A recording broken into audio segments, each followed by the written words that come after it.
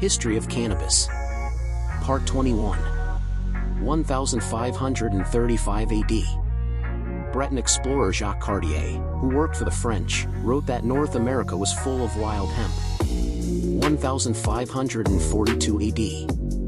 Giovanni de Verrazzano, an Italian explorer working for the French, reported seeing Indians wearing clothes sewn from hemp leaves.